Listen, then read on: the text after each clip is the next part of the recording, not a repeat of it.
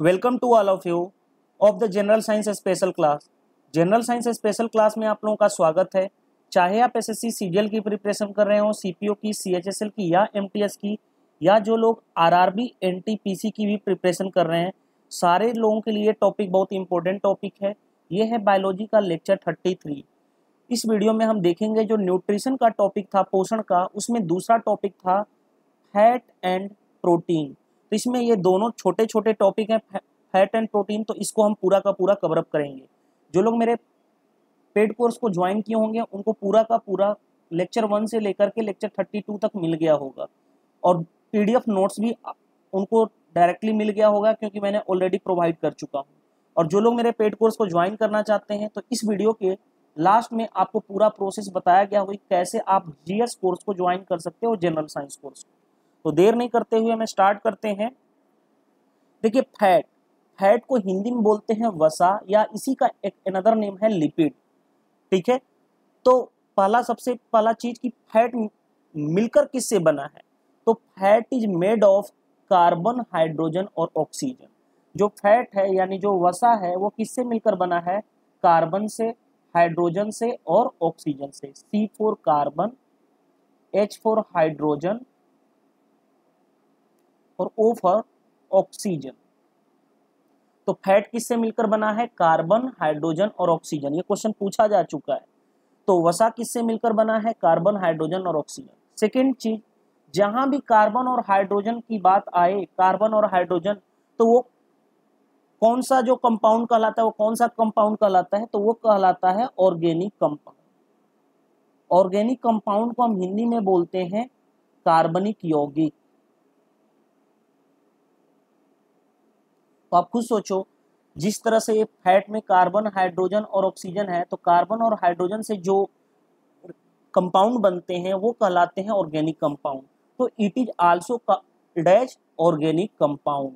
That is इसको हम fat है, जो वसा है, उसको हम कार्बनिक यौगिक भी बोल सकते हैं। अब बात आती है, यहाँ पे क्वेश्चन पूछा जाता है कि एक ग्राम फैट से कितनी कैलोरी कितनी कैलोरी एनर्जी मिलती है? तो एक ग्राम फैट से 9.3 किलो कैलोरी एनर्जी मिलती है। यानी कि one gram fat gives the 9.3 kilo calorie. ठीक है? तो ये इंपॉर्टेंट डाटा है, ये पूछ भी दिया जाता है। उसी तरह से अगर मैं बात करूँ, वन ग्राम कार्बोहाइड्रेट जो हम पढ़ चुके हैं, वन ग्राम कार्बोहाइड्रेट से कितनी एनर्जी मिलती है? तो वो मिलता है 4.0 किलो कैलोरी एनर्जी ठीक है? तो आपसे कभी भी पूछा जाए कि फैट जो है कितनी एनर्जी देता है तो one gram fat gives the 9.3 kilo calorie approximate उसी तरह से वन ग्राम कार्बोहाइड्रेट जो टॉपिक हम पढ़ चुके हैं, उससे कितनी एनर्जी मिलती है तो 4.0 किलो कैलोरी. अब नेक्स्ट हमारा आगे पॉइंट आता है कि जो हमारा वसा है यानी फैट है, वो कौन कौन से सोर्स से मिलता है, कौन से स्रोत हम, से हम फैट ले सकते हैं? तो ऑयल यानी कि तेल, घी बटर ईटीसी में क्या मिलता है?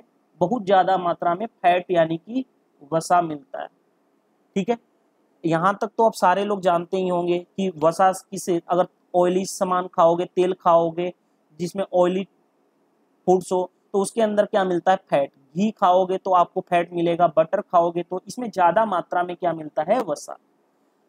अब बात आती है कि फैट जो है, वसा जो है, क्या करता है? तो इट गिव्स द प्रोटेक्शन। ये हमारी बॉडी का सुरक्षा देने का काम करता है। यानी वसा सुरक्षा, हमारी बॉडी को सुरक्षा देने का काम करता है।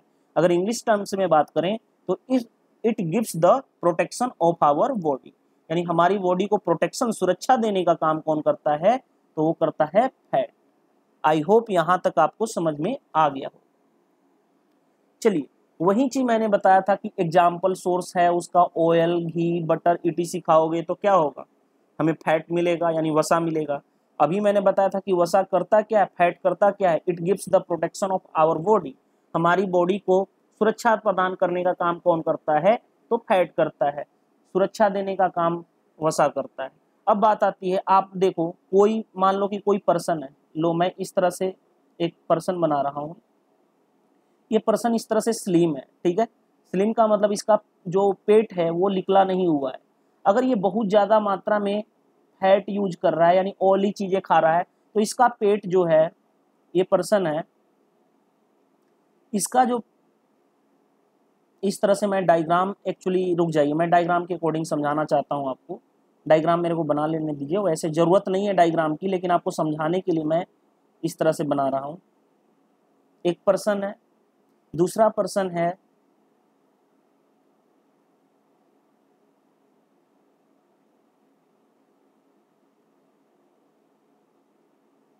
ठीक है? दो पर्सन है। फ़र्स्ट पर्सन और सेकंड पर्सन। फ़र्स्ट पर्सन की जो बॉडी है, जो ये, उसका पेट है, ये स्लिम है। यानी स्लिम का मतलब ये मोटा नहीं हुआ है। लेकिन दूसरा पर्सन क्या है? बहुत ज़्यादा मात्रा में फैट यूज़ कर रहा है। यानी कि ऑयली चीज़ें खा रहा है, घी काफ़ी खा रहा है बटर खा रहा है तो उसका देखोगे कि जो उसका तोंद होता है, उसका पेट जो होता है, वो इस तरफ़ फूल जाता है। अगर मैं बात करूँ तो इस तरह से फूल जाता है, इस तरह से उसका पेट निकलना स्टार्ट हो जाता है। तो इसी को हम क्या बोलते हैं? मोटापा।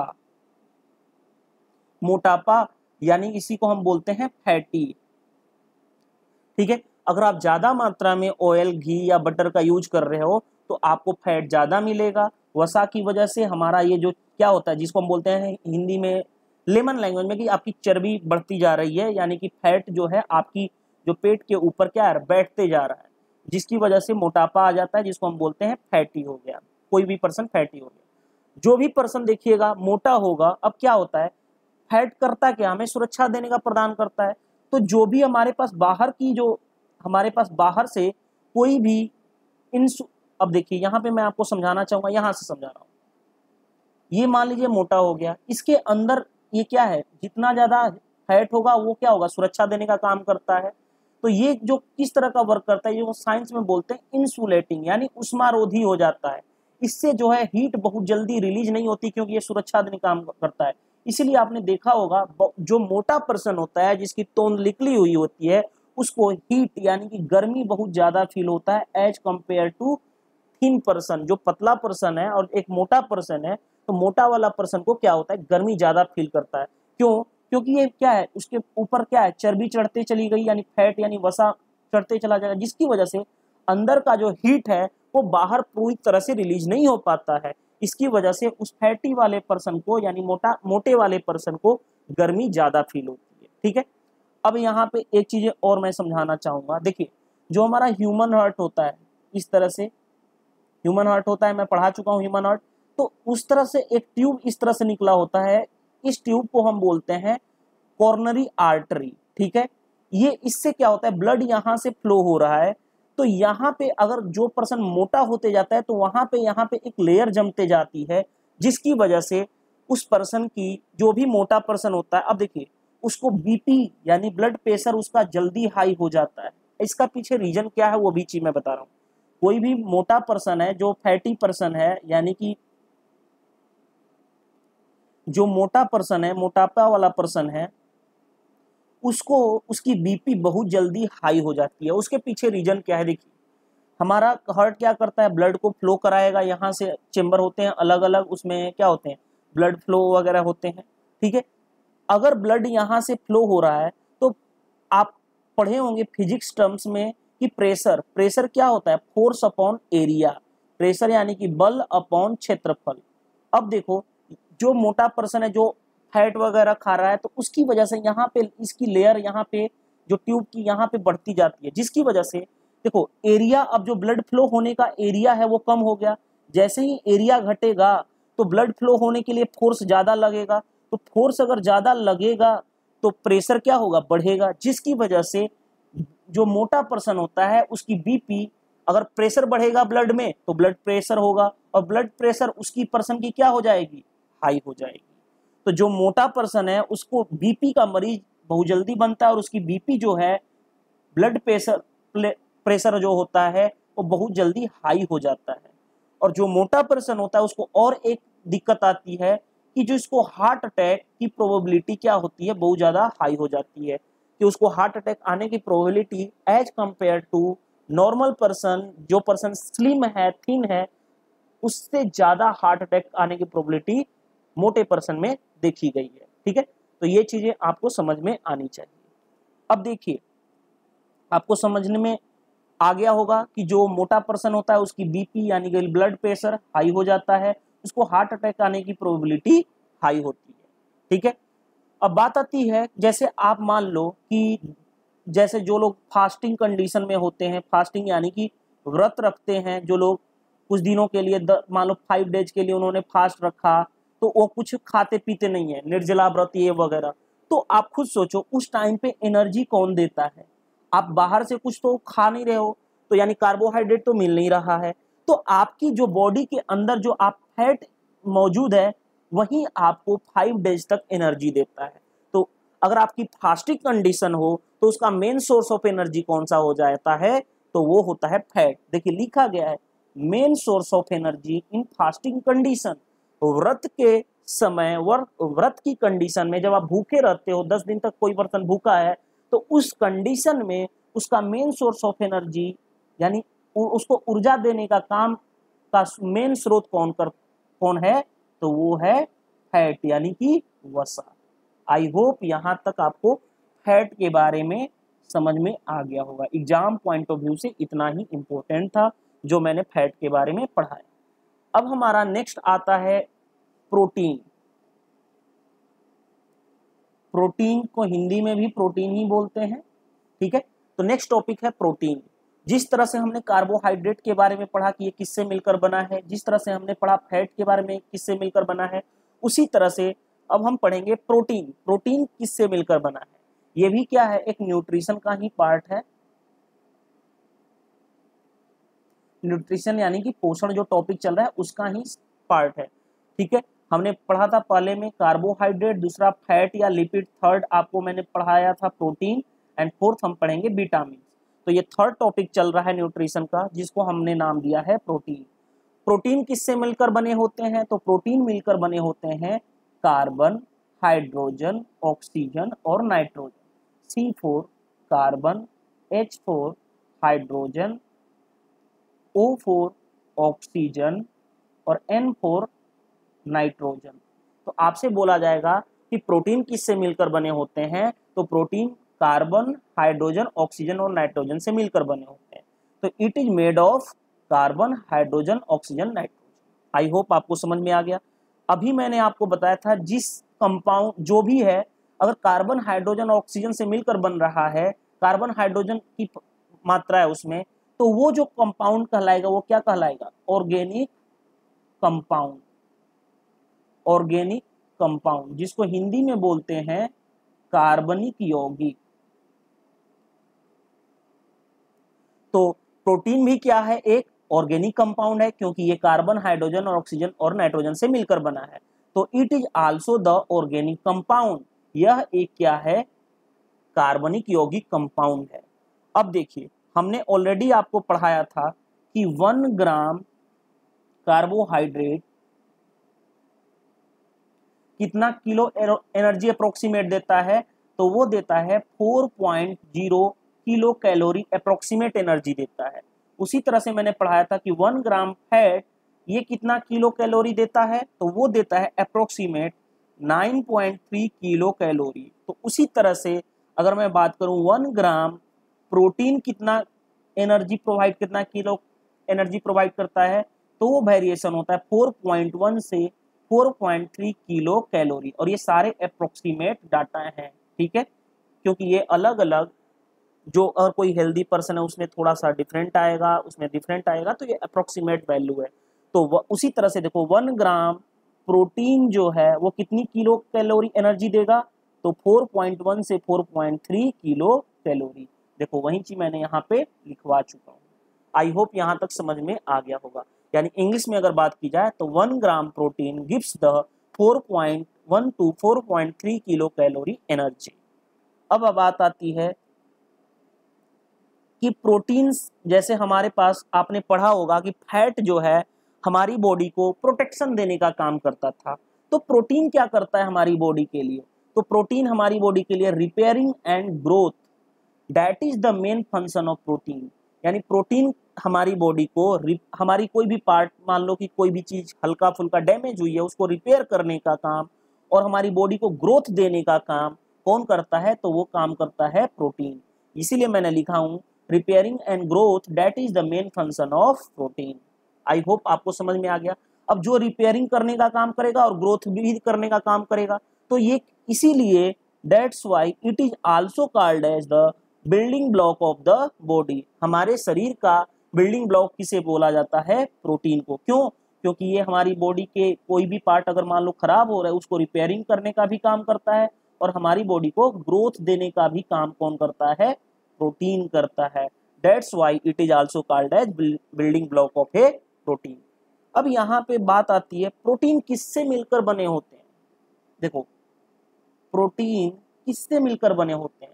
तो प्रोटीन जो है एमिनो एसिड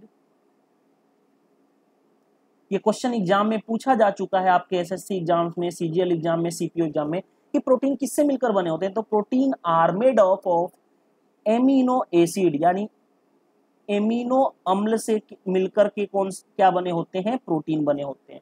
यहाँ पे मैंने लिखा भी हूँ पॉइंट को, protein are made of of amino acid protein किससे मिलकर बने होते हैं? एमिनो एसिड से मिलकर बने होते हैं। और ये तो मैं ऑलरेडी बता चुका हूँ कि वन ग्राम फैट कितना किलो एनर्जी देगा? Nine point three kilo calorie energy one gram protein कितना किलो कैलोरी देगा अप्रोक्सीमेट फोर पॉइंट वन से four point three kilo calorie energy one gram carbohydrate कितना किलो एनर्जी देगा? Four approximate four point zero kilo calorie energy तो ये मैं already आपको दे चुका हूँ। और इसकी पीडीएफ नोट्स मैं ऑलरेडी आपको प्रोवाइड कर चुका हूँ। तो आप वीडियो को देखते जाइए। उसके अकॉर्डिंग आप पीडीएफ नोट्स को दो बार रीड कर लीजिए। That is more than enough आपको रिमेंबर हर एक पॉइंट याद आ जाएगा।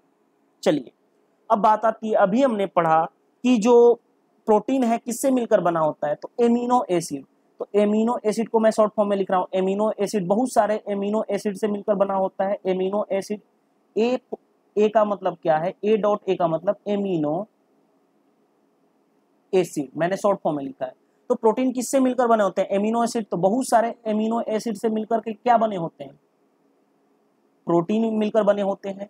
तो आप देखो एमिनो एसिड की क्या बन रही है? चेन बन रही है ना? तो इसको, ये क्वेश्चन एग्ज़ाम में पूछा गया था क्या पूछा गया था कि chain of amino acid is यानी कि अमीनो अम्लों अमीनो अम्लों की श्रृंखला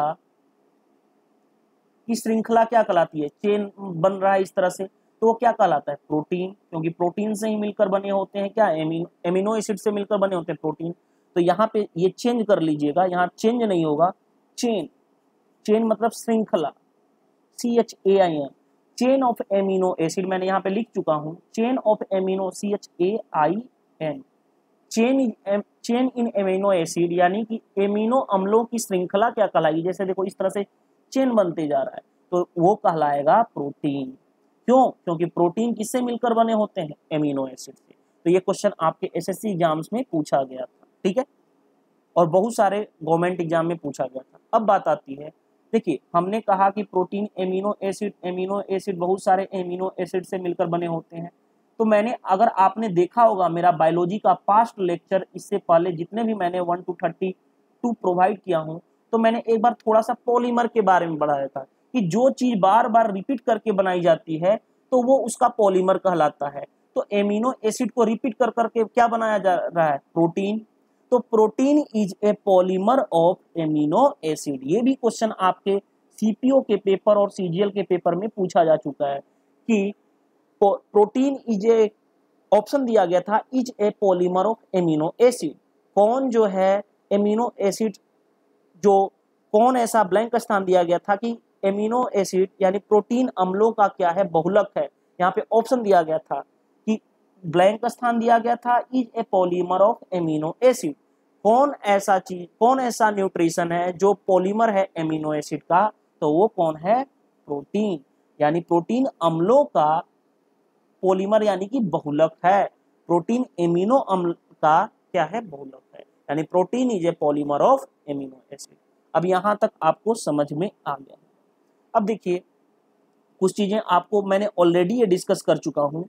कि एंजाइम एंजाइम क्या होता है? मैंने ऑलरेडी आपको बताया था पास्ट लेक्चर में भी और ये मैं बोला था कि सीपीओ के पेपर में भी पूछा जा चुका है।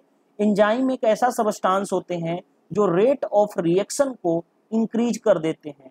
यानी एंजाइम एक ऐसा सबस्टांस होते हैं जो अभिक्रिया के दर को बढ़ा देते हैं। इसके opposite catalyst C A T A L Y S T catalyst अगर आपने थोड़ा बहुत इलेवेंथ ट्वेल्थ पढ़ा होगा तो कैटलिस्ट आपने देखा होगा। कि कैटलिस्ट क्या करते हैं? रेट ऑफ़ रिएक्शन को, यानी अभिक्रिया की दर को बढ़ा भी देते हैं और घटा भी देते हैं। इसीलिए कैटलिस्ट दो टाइप के होते हैं। एक होता है पॉजिटिव कैटलिस्ट और दूसरा होता है निगेटिव कैटलिस्ट लेकिन एंजाइम जो क्या होते हैं? एंजाइम एक ऐसा सबस्टांस ऐसा पदार्थ है जो रेट ऑफ़ रिएक्शन को हमेशा क्या करता है? इंक्रीज कर देता है। यानी अभिक्रिया की दर को बढ़ा देता है। लेकिन कैटलिस्ट रेट ऑफ़ रिएक्शन को इंक्रीज भी करेंगे, अभिक्रिया की दर को बढ़ाएँगे भी और घटा भी सकते हैं। That's why catalyst are two types a that is positive catalyst and that is negative catalyst ठीक है? तो एंजाइम आपको पता चल गया एंजाइम एक ऐसा सबस्टांस होते हैं जो रेट ऑफ़ रिएक्शन को इंक्रीज कर देते हैं। फिर मैंने आपको बताया था कि एंजाइम किससे मिलकर बने होते हैं? तो enzyme are made up of protein protein से मिलकर के क्या बने होते हैं? एंजाइम ये क्वेश्चन सीपीओ 2018 का जो पेपर हुआ था, उसमें पूछा जा चुका है और ये मैंने आपको सेल वाले टॉपिक में ये लाइन स्टेटमेंट लिखवाया था और मैंने बोला भी था कि ये क्वेश्चन आ सकता है और ये सीपीओ के पेपर 2018 में पूछा गया था। ठीक है? एंजाइम किससे मिलकर बने होते हैं? प्रोटीन से मिलकर बने होते हैं। एक और एंजाइम को बोला जाता है। एंजाइम क्योंकि क्या है? एंजाइम एक कैटलिस्ट की तरह काम कर रहा है, वो भी positive catalyst. That's why enzyme is also called as bio catalyst enzyme को जैव उत्प्रेरक भी कहा जाता है। जिस तरह से कैटलिस्ट रेट ऑफ़ रिएक्शन को इंक्रीज कर देते हैं डिक्रीज कर देते हैं, उसी तरह एंजाइम भी रेट ऑफ़ रिएक्शन को क्या कर रहा है? ओनली इंक्रीज कर रहा है। That's why enzyme is also called as bio catalyst enzyme को जैव उत्प्रेरक भी कहा जाता है। आई होप यहाँ तक आपको सिचुएशन जो है प्रोटीन के बारे में आपको समझ में आ गया होगा। अब जिस तरह से हमने पढ़ा था फैट में फैट यानी वसा या आपने, अभी मैंने इसी टॉपिक में पढ़ाया था लिपिड के बारे में तो मैंने वहाँ पे बताया था इसका सोर्स क्या है। सोर्स यानी मैंने बताया था कि ऑयल यानी घी ऑयल के बाद घी घी के बाद मैंने बताया था बटर ये सब खाओगे तो क्या मिलेगा? प्रोटीन सॉरी फैट यानी वसा मिलेगा। तो ये तो वही चीज़ लिखा गया enzyme also known as biocatalyst enzyme को जैव उत्प्रेरक भी कहा जाता है। अब सोर्स ऑफ़ प्रोटीन क्या है? यानी प्रोटीन के स्रोत क्या है? तो देखो, प्रोटीन के स्रोत पहला है अलगी, यानी अलगी मतलब होता है सैवाल और वो सैवाल का नाम है एस्पायरुलीना। ये क्वेश्चन पूछा गया कि एस्पायरुलीना अलगी से क्या मिलेगा हमें?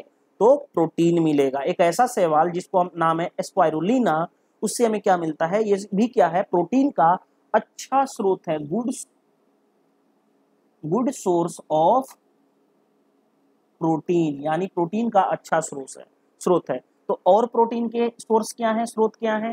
सोयाबीन खाओगे तो प्रोटीन मिलेगा, अंडा खाओगे तो प्रोटीन मिलेगा, मिल्क खाओगे तो प्रोटीन मिलेगा और दालें डिफरेंट डिफरेंट टाइप के दाल खाओगे भी तो आपको प्रोटीन मिलेगा। इसीलिए आप छोटे होंगे तो देखना, एक बार आपकी मम्मी जो है बोलती है बार बार की दाल ज़्यादा से ज़्यादा मात्रा में दाल खाओ ताकि आपको प्रोटीन मिले। और प्रोटीन से क्या होता है? अपने, आपकी बॉडी का रिपेयरिंग और क्या होता है? ग्रोथ होता है। इसीलिए बोला जाता है कि ज़्यादा से ज़्यादा मात्रा में दाल खाना स्टार्ट करो। अब बात आती है कि आपकी अब प्रोटीन की कमी हो जाए, ठीक है? प्रोटीन की कमी से जो रोग होता है, जो डिज़ीज़ होता है तो दो डिज़ीज़ होते हैं, दो रोग होते हैं। एक होता है क्वासर कोर जिसको हिंदी में बोलते हैं क्वासर कोर और दूसरा होता है मैरासमस हिंदी में भी उसको मैरासमस करते हैं। अगर प्रोटीन की कमी हो जाए तो उससे दो रोग होने की संभावना होती है। क्वासर कोर एंड मैरासमस, ये दो रोग होते हैं किससे? प्रोटीन की कमी से। अब बात आती है प्रोटीन की कमी हो जाए तो हमारी बॉडी को क्या इफ़ेक्ट पड़ेगा? अगर प्रोटीन की कमी हो जाए तो हमारे मानव शरीर पे हमारा मानव शरीर क्या हो जाएगा? दुबला पतला आप दिखोगे, आपकी ग्रोथ प्रॉपर वे से नहीं हो पाएगी, मिल पाएगी, आपकी ग्रोथ सही से नहीं हो पाएगी। आपकी जो मसल्स है, यानी मांसपेशी है, वो क्या होंगी? कमज़ोर हो जाएँगी, जिसकी वजह से इसी को अगर आप दुबला पतले हो गए, ग्रोथ नहीं हो रहे हैं तो इस कंडीशन को हम क्या बोलते हैं? माल न्यूट्रिशन यानी वो पर्सन क्या है? कुपोषण का शिकार हो गया, जिसको हम इंग्लिश में बोलते हैं माल न्यूट्रिशन तो आई होप यहाँ तक पता चल गया कि अगर प्रोटीन की कमी हो तो उसमें दो रोग होते हैं क्वासरकोर एंड मैरासमस रोग. प्रोटीन की कमी से व्यक्ति दुबला पतला हो जाता है ग्रोथ प्रॉपर नहीं हो पाती है, उसकी मसल्स वीक यानी मांसपेशियाँ में कमज़ोरी आ जाती है इस कंडीशन को हम बोलते हैं कुपोषण, जिसको इंग्लिश में बोला जाता है माल न्यूट्रिशन आई होप यहाँ पे समझ में आ गया होगा, यानी वो व्यक्ति कुपोषण का शिकार हो गया। ठीक है? चलिए। अब बात आती है स्किन में प्रोटीन जो मिलता है, हमारी त्वचा में प्रोटीन वो उसका नाम क्या है? उसका नाम ये मैं ऑलरेडी साइंस वाले टर्म्स में भी पढ़ा चुका हूँ। जब मैं साइंस वाले टर्म्स लेक्चर बायो का वन से सेवन पढ़ाया था, उसमें पढ़ाया था स्किन में जो प्रोटीन मिलता है, उसका नाम क्या है? इलास्टिन एंड कोलिजन, ये मैं पढ़ा चुका हूँ। टीथ, यानी दांत में जो प्रोटीन मिलता है, उसका नाम क्या है? डेंटिन। रेशम, इस सिल्क में जो रेशम में प्रोटीन मिलता है, वो क्या होता है? फिब्रोनिन। फिब्रोनिन फिब्रोनिन, ठीक है? वीट, यानी गेहूँ में जो प्रोटीन मिलता है, उसे हम बोलते हैं ग्लूटेन। उसका नाम क्या है? ग्लूटेन। दूध में जो प्रोटीन मिलता है, उसको हम बोलते हैं केसिन। और बाल या नाखून, हेयर या नेल्स में जो प्रोटीन मिलता है, उसको हम बोलते हैं केरेटिन। ठीक है? अब बात आती है, आप देखो तो क्या आपको, क्या बाल में प्रोटीन मिलती है, उसका नाम क्या? केरेटिन। तो क्या आप हेयर खाना स्टार्ट करोगे प्रोटीन लेने के लिए? क्या आप नेल्स खाना स्टार्ट करोगे? नहीं भाई। क्यों नहीं खाओगे? अब आपके माइंड में तो आ रहा होगा कि सर आपने अभी बताया कि जो बाल है, हेयर है या नाखून है, उसमें क्या केरेटिन प्रोटीन मिलता है। तो क्या उसको खाएँगे तो हमें क्या मिलेगा? तो ये खाने से हमारी बॉडी का कोई इफ़ेक्ट नहीं मिलेगा। इसके लिए इसको हम क्या बोलते हैं? डेड प्रोटीन बोलते हैं। क्यों प्रोटीन डेड प्रोटीन बोलते हैं? क्योंकि इस, ये जो आप कीरोटीन प्रोटीन, आप अगर हेयर खाते हो नेल खाते हो तो आपकी, हमारी जो बॉडी का डाइजेशन सिस्टम होता है हमारी बॉडी इसको, इस वाले प्रोटीन को डाइजेस्ट नहीं कर पाती है। डेट्स वाई हम इसको नहीं खा सकते। मिल्क हमारी बॉडी को, हमारी बॉडी डाइजेस्ट कर जाती है। गेहूँ हमारी बॉडी डाइजेस्ट कर जाती है, इसलिए खाते हैं। अब ऐसा थोड़े ना कि आप सिल्क सिल्क में कौन सा प्रोटीन मिलता है? फिब्रोनिन प्रोटीन मिलता है। तो क्या आप सिल्क यानी रेशम खाना स्टार्ट करोगे? नहीं। क्यों? ये भी क्या होगा? डेड प्रोटीन होगा, यानी मरा हुआ प्रोटीन क्यों? क्योंकि इसको खाओगे भी, रेशम खाओगे तो हमारी बॉडी क्या है? डाइजेस्ट नहीं कर पाएगी। डेट्स वाई हम इसको नहीं टीथ यानी दांत में जो प्रोटीन मिलता है, ये स्किन में प्रोटीन जो होता है, उसका नाम है इलास्टिन एंड कोलिजन तो डेट्स वाई आपको वो प्रोटीन खाना है जो आपकी बॉडी डाइजेस्ट कर पाए तो इस तरह से आपको समझ में आ गया। उसके लिए आप सोयाबीन खा सकते हो, अंडा खा सकते हो मिल्क खा सकते हो, ठीक है, गेहूँ खा सकते हो ठीक है। लेकिन आप कोई माइंड में ये मत सोचना कि हेयर और नेल्स खाना स्टार्ट करोगे, क्योंकि जो आप कीरोटीन प्रोटीन मिलता है, वो डेड प्रोटीन होता है, क्योंकि हमारी बॉडी उसको डाइजेस्ट नहीं कर पाएगी। आप नेल खाओगे, आपकी बॉडी डाइजेस्ट कर पाएगी, आपकी बॉडी पाचन कर पाएगी, नहीं कर पाएगी। डेट्स वाई जो भी चीज़ें हमारे बॉडी डाइजेस्ट नहीं कर पाएगी, उसको हम डेड प्रोटीन के नाम से बोल सकते हैं। तो यहाँ तक आपको पूरा का पूरा सिचुएशन आपको समझ में आ गया होगा। फैट के बारे में हमने पूरा का पूरा बताया एंड प्रोटीन के बारे में जो आपके एग्ज़ाम पॉइंट ऑफ़ व्यू से इंपॉर्टेंट पॉइंट्स थे, सारी चीज़ें मैंने डिस्कस कर दिया। तो ये टॉपिक कंप्लीट होता है फैट एंड प्रोटीन देखिए मेरे दो कोर्सेस हैं, अगर जो लोग ज्वाइन करना चाहते हैं, वो ज्वाइन कर सकते हैं रीजनिंग कोर्स जो आपको C G L C P O C H S L M T S या आप R R B N T P C की प्रिपरेशन कर रहे हैं, ये सारे एग्ज़ाम को कवर कर देगा। इसमें आपको हंड्रेड प्लस वीडियो लेक्चर्स मिलेंगे वर्बल एंड नॉन वर्बल दोनों सेक्शन मिलेगा पीडीएफ नोट्स भी मिलेगा और पीडीएफ प्रैक्टिस क्वेश्चन भी मिलेंगे। और ये कोर्स क्या है? बाइलिंगुअल यानी हिंदी और इंग्लिश जैसे आप अभी देख रहे हो सेम आपको यहाँ पे मिलेगा। और जो जनरल साइंस रनिंग कोर्स है, जो लोगों को मैंने बताया था कि लास्ट में मैं बताऊँगा कैसे ज्वाइन करना है, इस कोर्स की फ़ी है four double nine reasoning course की फ़ी है थ्री डबल नाइन और आप लाइफ टाइम तक यूज़ कर सकते हो। उसी तरह से जनरल साइंस कोर्स की फ़ी है फोर डबल नाइन आप लाइफ टाइम तक यूज़ कर सकते हो। इसमें डेढ़ सौ प्लस वीडियो लेक्चर्स में कोर्स कंप्लीट होगा। फिजिक्स केमिस्ट्री एंड बायोलॉजी तीनों टॉपिक्स आपको कॉन्सेप्ट वाइज कराए जा रहे हैं। उसके बाद आपको पीडीएफ प्रैक्टिस क्वेश्चन भी दिया जा रहा है and as well as PDF notes भी मिल रहे हैं। और ये भी कोर्स क्या है? बाइलिंगुअल है।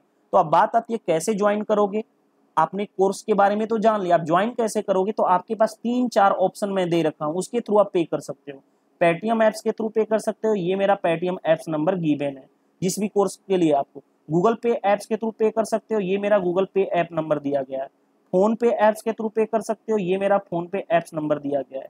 अगर आप अकाउंट नंबर के थ्रू पे करना चाहते हो तो यहाँ पे मेरा अकाउंट नंबर दिया गया ऑलरेडी अब बात आती है, आपने पे तो कोर्स कर दिया, आपको कोर्स कैसे मिलेगा? तो आपको इस दिए गए व्हाट्सएप नंबर पे आपको क्या करना होगा? उस पे स्लिप की जो आपने पे किया या स्क्रीन शूट या पिक्स आपको इस दिए गए व्हाट्सएप नंबर पे सेंड करना होगा। उसके बाद मैं आपको लिंक प्रोवाइड करूँगा।